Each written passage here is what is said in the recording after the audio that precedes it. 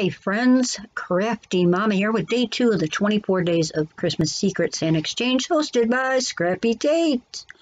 And as you can see, it's going to feature my number two gift and some other things as well. As you watch the video, you'll see. Well, my number two gift came in this striped box. Very snazzy, huh? It's a little striped box, and on the bottom it's white, and I'm turning it around so you could see. And I would try to think, try to guess what might be in this little box. Maybe it's a tiny piece of fruitcake. Or maybe she found the sock that I lost in my dryer last week and she's mailing the one sock back to me. Or maybe there's two of something in this box since it is number two. I haven't a clue. What do you think? My son used to like to take things, he still does, as a matter of fact, he's adult and grown, and shake them to see what was in there. I don't know, there's no sound. All right, I suppose we should just open it, right? That's or that's the only way I'm going to find out. Not we, unless you can reach across the miles. I meant me. Let me get the tape up. There's tape on each end. I'm going to get the little piece of tape off. Uh-oh. I'm trying. I got to pull it off now. My scissors did nothing at all. But, hey, and the tape is stuck to my finger. Oh, get off. Right, sorry. okay, I'm going to try to open it with just one end. Do it the hard way. Why not? Oh, there's a little stocking with pearls. How super cute. And this is, oh, oh, wow. I actually have been wanting one of these for a long time. I'm absolutely serious. Magic Anti-Static Pad eliminates static that causes smudges and fingerprints on your work before stamping and embossing. Wipe across the surface to be stamped and embossed with the magic anti-static pad. Shake, wipe, or brush off the residue. Oh, this is great. This is awesome. Absolutely wanted one of these.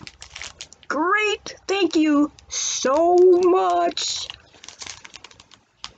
Another great gift from my partner, Lesia Mariposa. I am actually glad it wasn't a tiny fruitcake because I don't really care for fruitcake. And as far as the other sock is concerned, I didn't really care for those socks either. But this, this Magic Anti-Static Pad, I can definitely use. So thank you once again, Lesia. So here's the rest of the video. In some of these videos, I'm going to have a daily question brought to you by an absolutely fake sponsor just for the fun of it. If you want to answer the question, leave a comment below with your answer.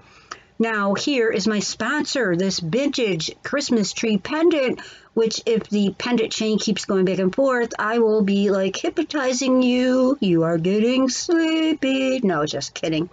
All right, today's question is, when it comes to Christmas trees, you prefer the real deal, go pine or go home, artificial, don't chop no tree for me, Charlie Brown it, a couple of branches in a vase. Bah, humbug. Ain't nobody got time for a tree. And just for the fun of it, leave your answer in the comment section. Oh, wait, important note. Uh, oh, no, this isn't the important note. This is an ornament I bought to go on my tree because it seemed perfect to me.